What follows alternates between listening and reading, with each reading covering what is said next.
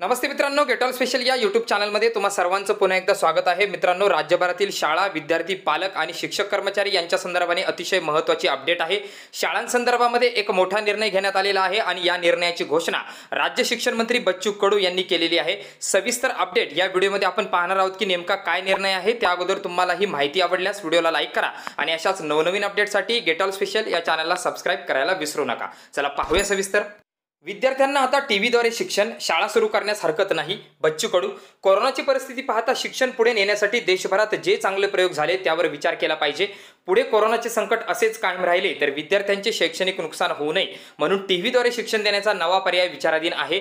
शिक्षण विभागामार्फत यासंबंधीचे व्हिडिओ तयार करून उपलब्ध टी व्ही चॅनलच्या माध्यमातून दुपारच्या वेळेत हे शिक्षण दिले जाऊ शकते आणि यासंबंधीचा प्रस्ताव वित्त मंत्रालयाकडे सादर केला जाईल अशी माहिती शालेय शिक्षण राज्यमंत्री बच्चू कडू यांनी दिलेली आहे. नागपुरात बोलताना शिक्षण राज्यमंत्री बच्चू कडू म्हणाले की सध्या कोरोनाचा प्रभाव कमी आहे. ही संधी साधून प्रत्यक्षात शाळा सुरू करण्यास हरकत नाही. आधीच दीड वर्षे तशीच गेली आहेत. आता पालक व विद्यार्थ्यांना विद्यार्थ्यांनाही या मानसिकतेतून बाहेर येणे आवश्यक आहे. आठ महिने नाही तर किमान चार महिन्यांची शाळा करून मुलांना आवश्यक शिक्षण कसे देता येईल यावर लक्ष देणे गरजेचे आहे. विद्यार्थ्यांना पुढच्या वर्गासाठी आवश्यक असलेले पूरक शिक्षण मिळेल एवढाच अभ्यासक्रम शिकवला जाईल असे नियोजन सुद्धा केले जाईल.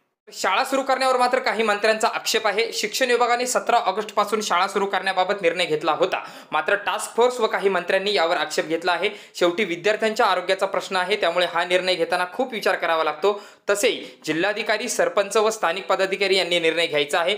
आता मुख्यमंत्री पुढील दोन दिवसात अंतिम निर्णय घेतील असेही बच्चू कडू यांनी स्पष्ट केले आहे.